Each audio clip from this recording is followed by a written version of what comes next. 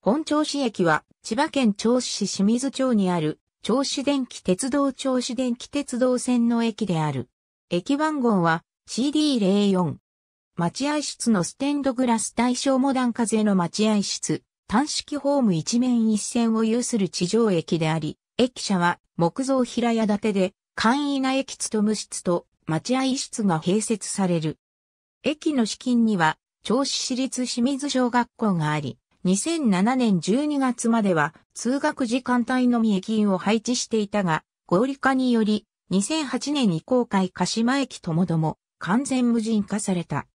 駅舎は1923年に当駅が銚子鉄道の駅として改めて開業した際に建てられたもので、その後何回か改修が行われているが、築後100年近くが経過し、近年は老朽化が著しく、全面的な改修もしくは建て替えが望まれる状態であった。しかし、所有、管理する銚子電気鉄道には、建て替えのための予算の余裕がなく、2000年代に入ると修復が行われていない箇所が目立つものとなっていた。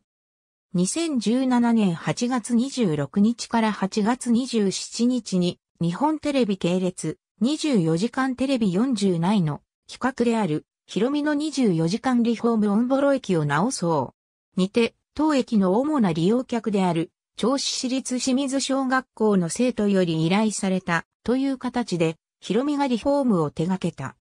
これにより、駅舎は外壁、屋根、待合室内といった箇所を一新し、レンガ様の外壁の対象モダン風のものとなった。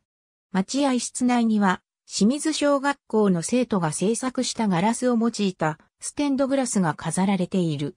しかし、一部の鉄道ファンからは、以前の雰囲気が失われた元の駅舎に戻してほしいといった不評もある。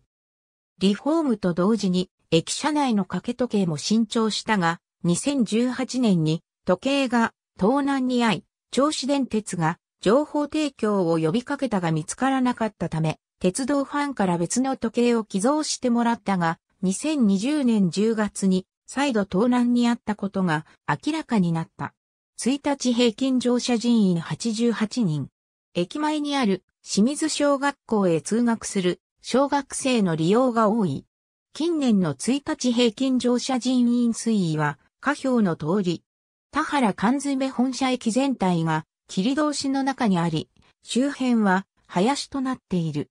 アジサイの開花シーズンには、ホームの反対側の植え込みから、隣駅の笠上黒羽駅間にかけて、多くのアジサイが咲く。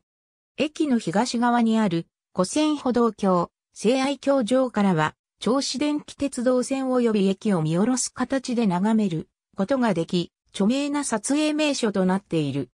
ただし、当駅は切通しの中にあるため円形が望みがたく、一見して社寺の林の中に存在するかのような佇まいとなっている。